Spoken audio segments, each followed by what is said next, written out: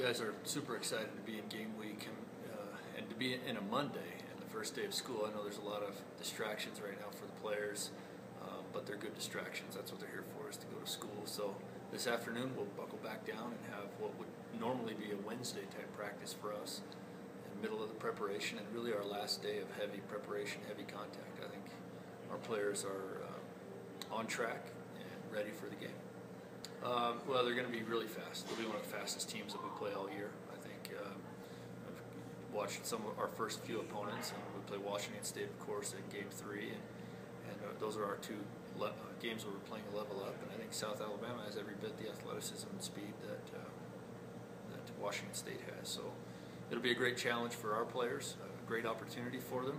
It's what they uh, dream about, you know. And uh, I'm glad that these games are prior to going into the Big Sky because that needs to be a separate and, and somewhat different focus is to get into our league championship and play teams that have similar resources and similar similar schedule that we have. Um, really, I think uh, Aaron Cantu has a chance to be as successful as any quarterback we've had.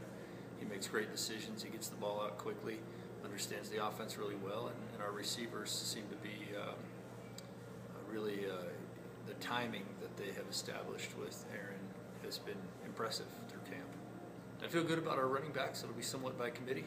Uh, we feel like that we have certain guys that uh, can work into our passing game better, and certain guys that can work into our running game better. So early on during the season, I think we're still in a tryout phase of running backs, but I'm very enthusiastic about the guys that we have.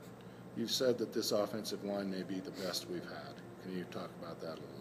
I, I think it is. I, we have two returning starters, Gavin Farr and Cody Burgess, and those guys have played very well for us. Cody has been, you know, on and off healthy the past couple of years, so hopefully he'll be able to maintain his health. He's worked hard in the offseason. He deserves to play healthy all year. Gavin is three-time All-Conference and a big leader for us. And then we moved two of our really good defensive interior linemen, uh, a starting player, Brad Meyer, and a player who was playing significantly, Nick Nissen. They brought a lot of athleticism and strength to our offensive line. And then the right tackle position right now is being held down by Darren Griffin, and Darren has worked hard for it his whole career. I'm super excited for him.